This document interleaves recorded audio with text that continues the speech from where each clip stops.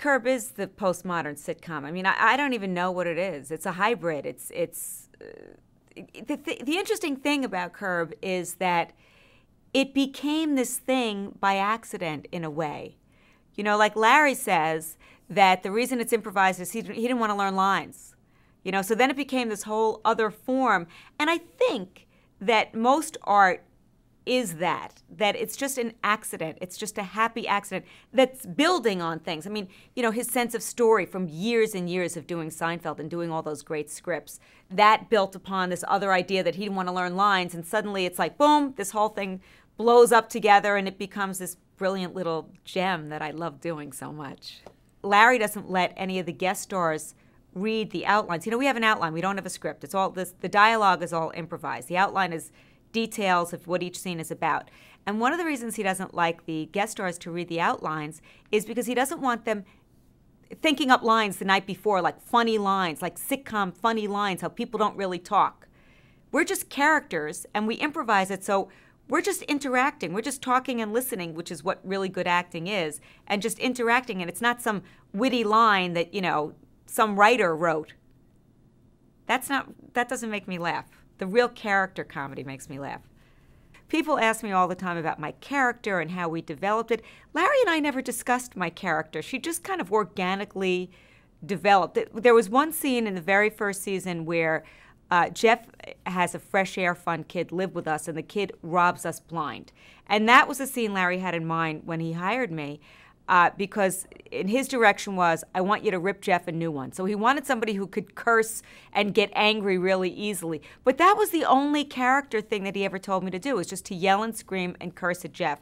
Beyond that, the crazy way she dresses and, and, and so many of her traits just kind of evolved and we've never ever discussed it. I don't think Larry ever discussed character with, with Cheryl, with Jeff. It's just not it's just not how we work. You know, I put on those wacky Susie Greene outfits and I become her. And and it's it's very it's hard to say which comes first, but the wardrobe really helps me be the character. And she's a real character. I mean, people think I'm Susie Greene. I'm not. I sometimes wish I was Susie Greene because she's so she's so reactive. You know, you do something to her, she responds, and she's got uh, very simplistic rules that she lives by, and she doesn't analyze everything every which way. I mean, I'm a comedian, I analyze everything. People think that what they're responding to and what they think is funny in Susie Greene is her cursing. But I think it's her comfort with her anger. I think her comfort with her anger is such a relief to people that and I know this just from people coming up to me on the street all the time telling me you're exactly like my wife which I'm always like eh. or, or uh, you remind me of myself and I, and I think that I'm giving permission to people to be angry and I think it's a good thing there was an article in the New York Times recently about it, couples uh, the women who act out their anger at their husbands are some some percentage some ridiculous percentage like 80% less likely to die young than the women who hold it in Curb to me always felt like the honeymooners.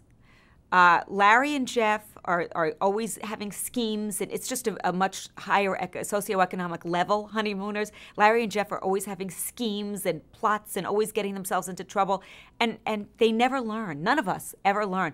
We've done six seasons. Our characters have not changed one iota. Maybe last season, because Cheryl actually left Larry, but basically, we never learn from our mistakes. We're the exact same, and that's the comedy of it. It's not funny when you learn and grow. It's funny to keep making the same mistakes over and over. And that was that was Ralph and Norton. They just did the same things over and over. And it was two couples, which I always think Curb is at its funniest when it's the four of us, when it's the two couples. There's something about that dynamic.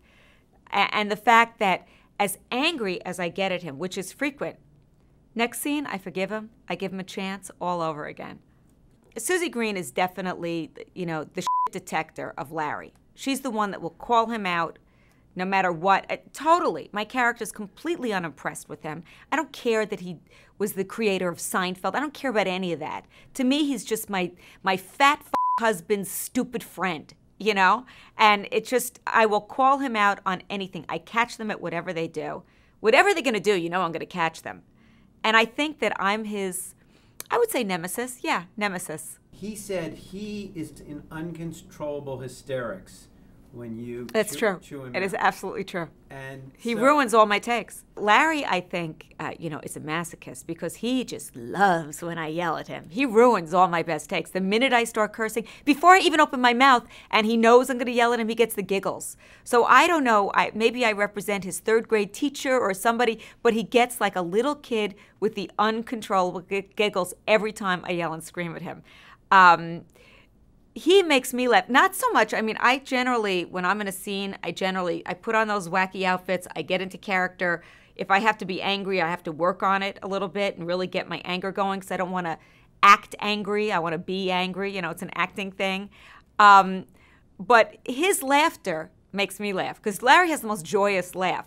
So making larry laugh is one of the greatest pleasures of my life even though he ruins all my good takes and i have to do it over and over and over again and then i lose my voice the character Larry plays on Curb, I think, is Larry's it. I think it's what he's thinking, but he knows better than to say it. But I think the real Larry thinks all those things, just doesn't say them. I mean, you have to consider he ran the most successful show in the history of television. He was the executive producer of Seinfeld.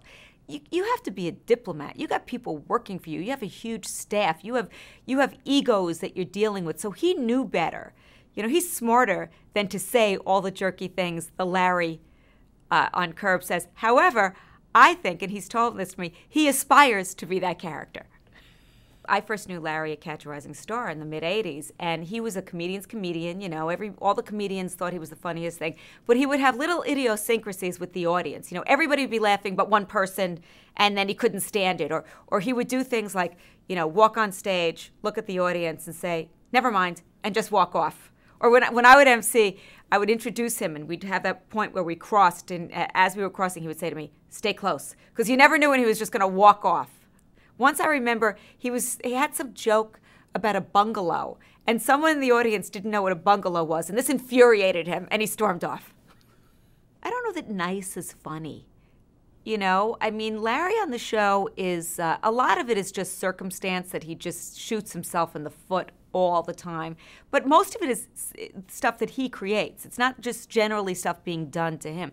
What I love about Larry's character is he's so politically incorrect. He does not subscribe to the social mores that the rest of us subscribe to. And I love that about him. I love that he's, you know, whereas my character's the opposite. I have rules. I have very, very strict rules about how you behave and, you know, wh- what you're supposed to do. But but Larry is pointing out Uh, how ridiculous it is that you can't accept a wedding gift if it comes after a year. A gift is a gift. He's pointing out all those ridiculous ways that we behave, and I think that, that that's what comedy is. I think comedy is is a commentary on our society, and it's and it's not just accepting the status quo. It's saying this is ridiculous. Larry's genius, I think, is is really in story. I mean, he's brilliantly funny. He was a brilliantly funny stand-up before years and years ago when I knew him at Catch a Rising Star in the 80s, in the mid 80s. But I think his real genius is story, and I think and I think it is genius. I don't use that word lightly. I get the outlines for the show in the beginning of the season, and I read them, and I have a comedy brain, and I have no idea how he got there. It's transcendent. It's just the way that he knows how to put a story together is not like anybody else. Nobody else could imitate his story style. It's like Mozart. You know, how did he hear that melody? Nobody else could really hear what he heard. And I think the same is true with Larry.